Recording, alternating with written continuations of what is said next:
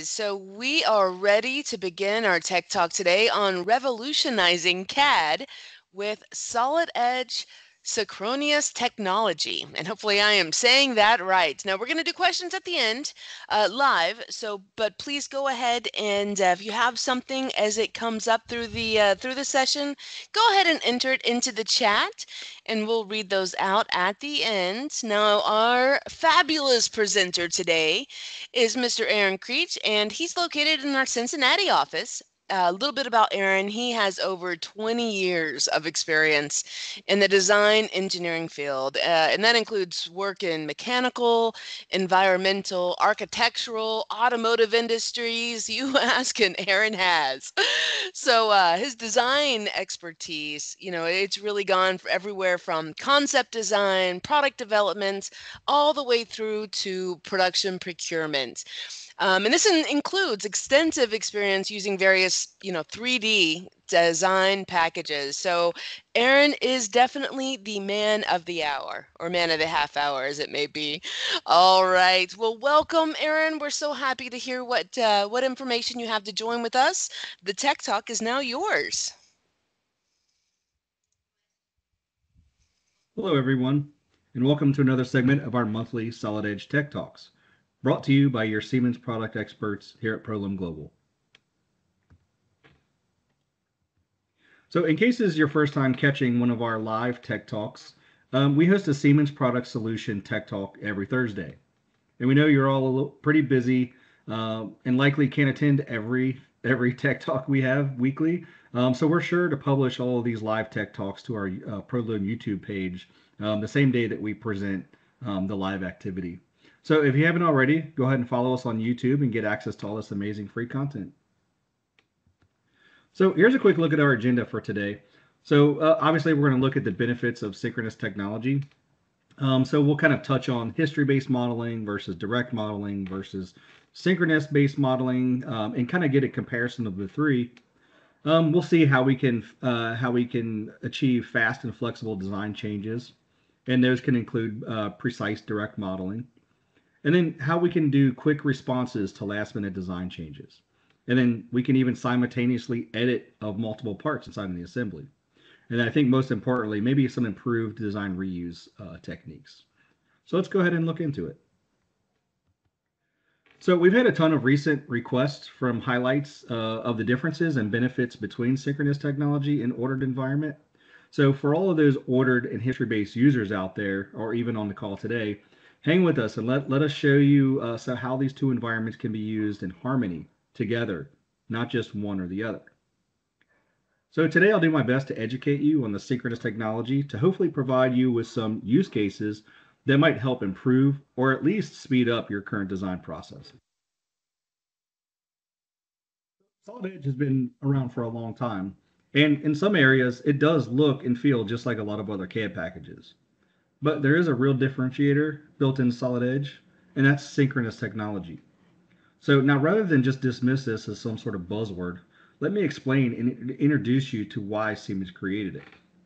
So we're all familiar with the traditional modeling approaches in today's modeling paradigm. The most common types of CAD systems available in the marketplace today use what's called history-based modeling. Uh, and because it's so great, uh, such as being dimension-driven, can be highly automated, and is feature-based, it's so good, in fact, that Solid Edge has been a history-based modeler for over 20 years now and continues to provide this method.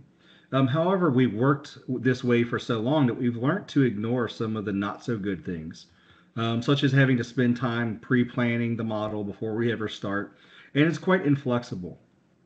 So looking for a better way to work, we can turn to direct modeling. And because this has some great benefits, such as uh, direct interaction with the model and is highly flexible, but there are some downsides to this method too, such as being featureless, so not very organized, and has weak dimension-driven editing. So how about we take the best of both of these worlds, but leaving out the downsides to both. So this is why Siemens created synchronous technology, with unique items such as 3D driving dimensions, face relationships, procedural features, and a design intent to really synchronize these worlds together. So to summarize, we get the best of both worlds modeling, the best of history-based and the best of direct modeling methods And that's what's synchronous technology. The robust, the robust engine behind all of this is Parasolid. It's so good, in fact, that it's used by many other CAD systems on the market today. However, you might not know that it, it's actually owned by Siemens. Siemens just keeps the best bits for our own products, so synchronous technology is exclusive to just Siemens software, and no other CAD solution has this capability. So here's a quick look at some of the Solid Edge functionality and tools that are only available in the ordered and or the synchronous environment. So this is why the hybrid approach is the ideal method for modeling in Solid Edge. So you have access to all of the tools and the functionality that Solid Edge has to offer. So for instance, on the left-hand side, uh, we have ordered environment kind of broken up into part environment and the sheet metal environment. And you can see there are a few um, options in the part environment for ordering uh, in the ordered environment that are available that aren't available in a synchronous environment, such as the stitch weld and the label weld. Um, in the sheet metal environment, it's probably the biggest impact. Um, I would say um, in the green there highlighted for the ordered uh, modeling environment, you have access to the multi-edge flange, lofted flange, cross break, closed three bends, normal cutout, mirror copy part, and a few other um, options that are only available in the sheet metal environment under the ordered part concept. Um, but on the synchronous side, you kind of have the kind of the give and take. So um, in the part environment, in the synchronous environment, we have that reverse engineering um, and 3D 3D uh, print capabilities. Um, but we have no external linking, so that's kind of the downside. is because this is direct modeling, it's very hard for the system to to link um, features and parts. Uh, but then in a sheet metal environment, we do have a couple of um, pros, I guess you could say, in the synchronous environment. So um, if we're using sheet metal parts from other CAD softwares, maybe we want to be, have the functionality to recognize a hole and create that as a feature, um, recognize hole patterns or any other patterns for that matter. So we synchronous environment has the ability to kind of understand these existing patterns that weren't weren't designed inside of Solid Edge, but can then uh, extrapolate them as Solid Edge um, pattern features. And again, no linking. So you can see here the pros and cons of each environment and why we would want to kind of use this hybrid approach in accessing all of this stuff as opposed to only having access to one or the other. So synchronous technology is a set of game-changing tools that allow you to graphically and dynamically edit 3D CAD data on the fly. These are patented tools as well, so no other CAD system has this technology, as I mentioned before. So you get a leg up on the competition, uh, unless they're already using solid edge uh, synchronous technology as well. So these tools working alongside your familiar history tree, so they don't replace it, just adds an extra set of tools that you have at your disposal to take advantage of. So for many simple tasks, we compared synchronous technology to the common ordered modeling techniques. And in most cases, using synchronous, uh, we can easily reduce several common 10 minute tasks into 10 second tasks. So with synchronous technology, we can easily, you know, click 3D designs um, without the need to understand the history of the model or spend time pre-planning or approaching um, that design change. We really don't care about the, the original user's intent, uh, but we can automatically extrapolate the design intent automatically um, and it's recognized in this synchronous environment and we can adjust on the fly. So we don't have to worry about failed features after a parametric ed- edits anymore using the synchronous technology. And then we can graphically and accurately edit geometry using push, pull, uh, or add uh, additional controls with 3D driving dimensions.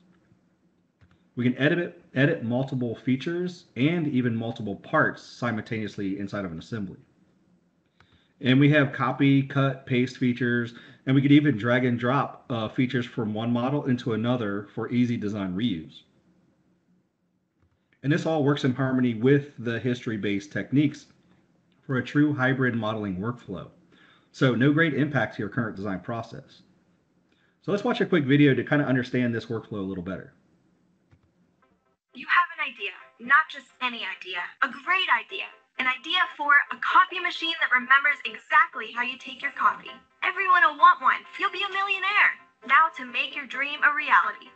But why did designing your product feel like a nightmare? The problem wasn't your idea.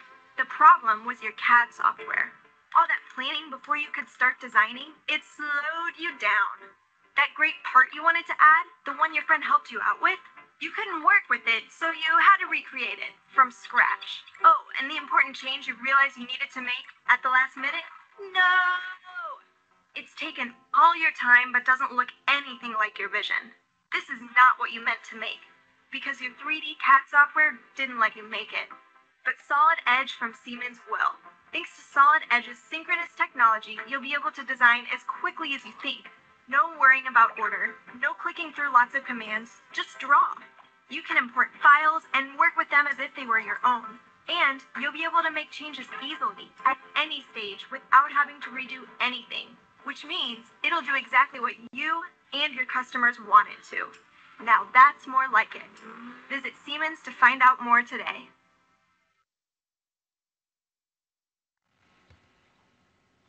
So here is another kind of example of synchronous technology in action. It's a simple and graphical way to dynamically edit 3D CAD on the fly.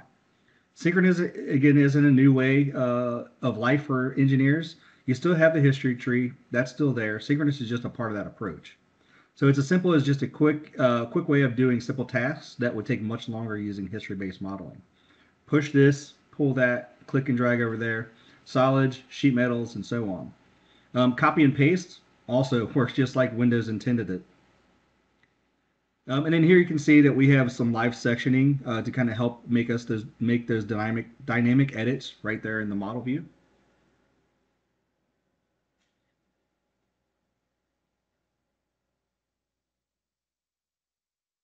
Pretty cool.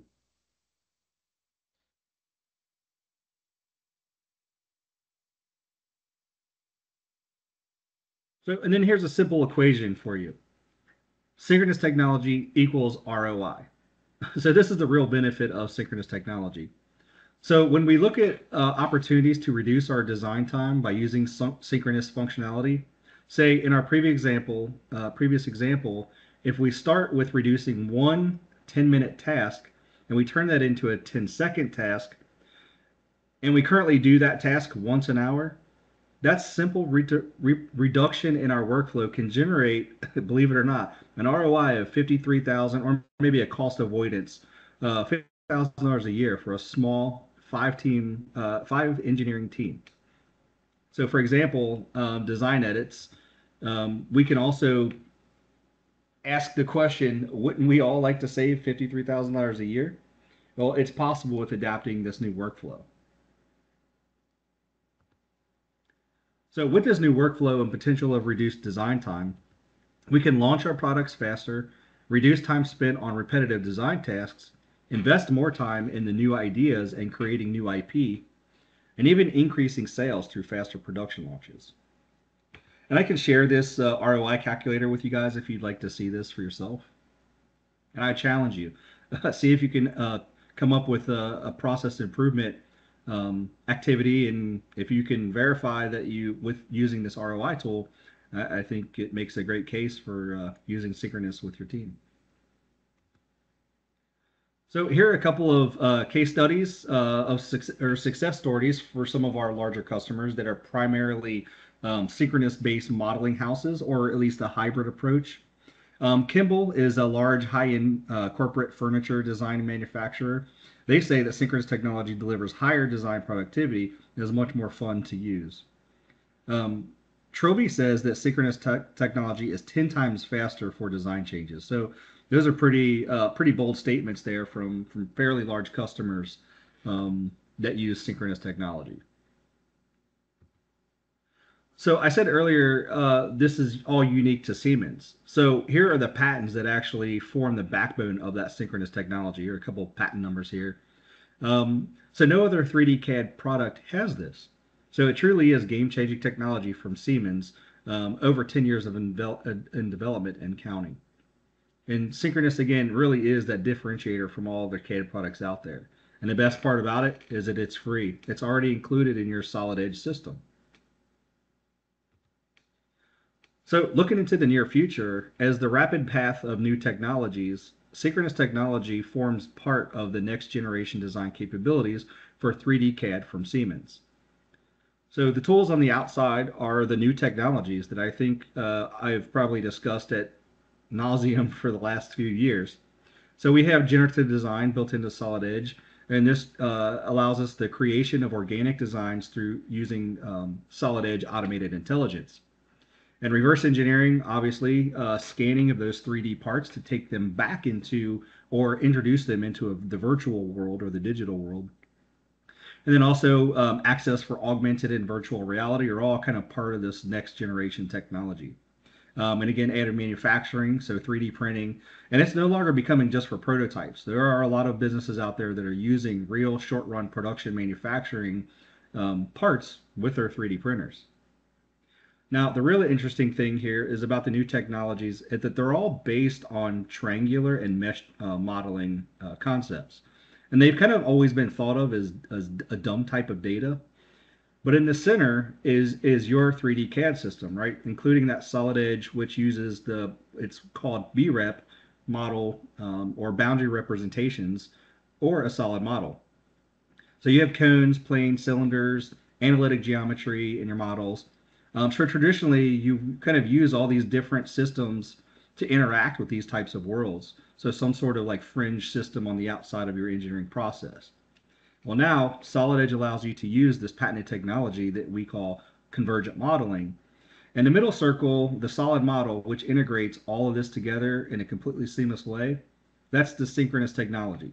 So you can really tell if you're working with a mesh model or if you're working with a full BREP model.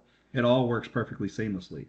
And again, in the heart of it, it all is the synchronous technology that's what enables you to utilize these uh, next generation design uh, functionality.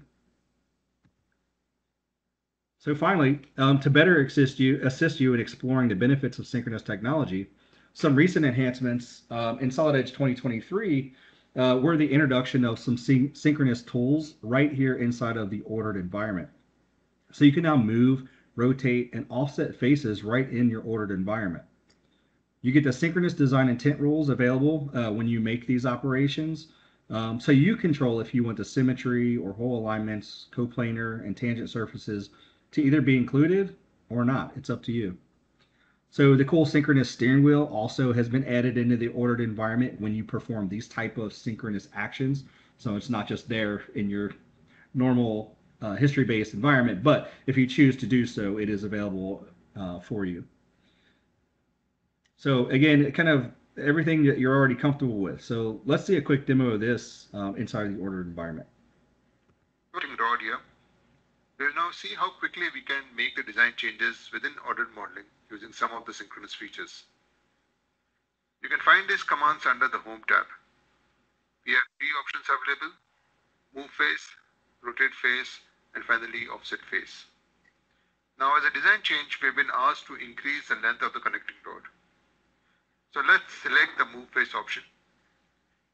Window select these faces and accept. We now get the synchronous wheel which we'll place at the center of the circle. We can also see that we have access to all the design intent tools which are available for us below. Next, we can drag the arrow to either add material or remove material. We can even key in the value as desired. Let's key in 15 mm now below we can see only the design intent tools which are available for this operation. In case we want to add material to only the left hand side of the connecting rod, you can uncheck the symmetric about YZ plane.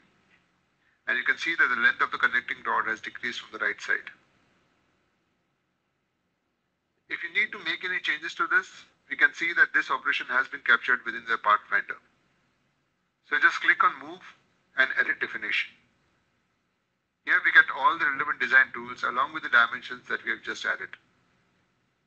Check the symmetric about YZ plane to add the material. Next, click on the movement tab.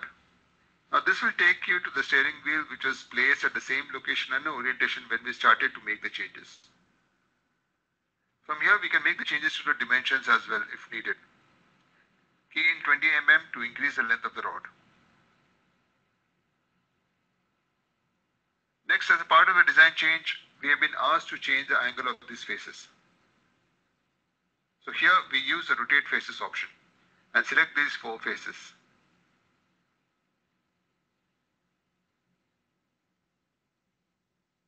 Once selected, place the synchronous wheel at this location and key in the value.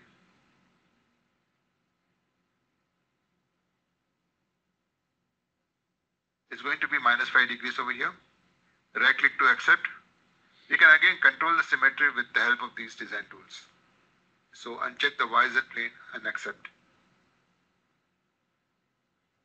We can also increase or reduce the size of the connecting dot and for this we will use the offset faces option. Select these two faces and pull the arrow to add or remove the material.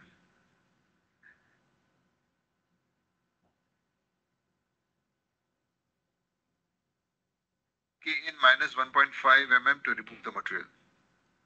So here we can see that with the new synchronous commands within ordered modeling, we can make changes to the existing designs faster and more efficiently.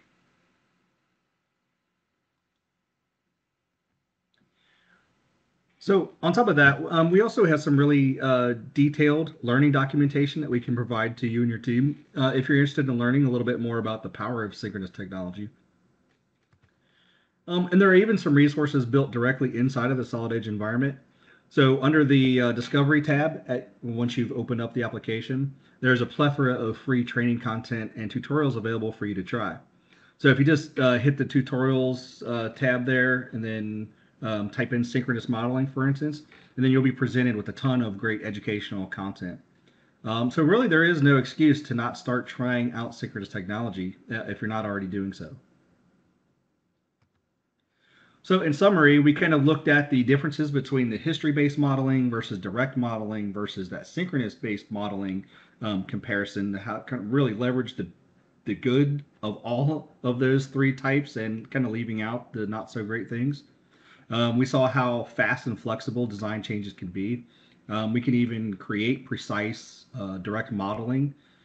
Um, and then quick responses to last minute design changes. So very easily we can use that design intent um, to make a change um, when time really does count, you know, at the very end of the design phase and we got to get this product out to the floor uh, for manufacturing, we shouldn't spend a lot of time, um, you know, rethinking the entire design just to make one quick little change and then how we can uh, simultaneously edit uh, multiple parts inside an assembly, and then the ever so important improved design reuse. So we want to be able to reuse as much um, parts and data and features that we can to make our job a little easier for the next iteration of the of the product.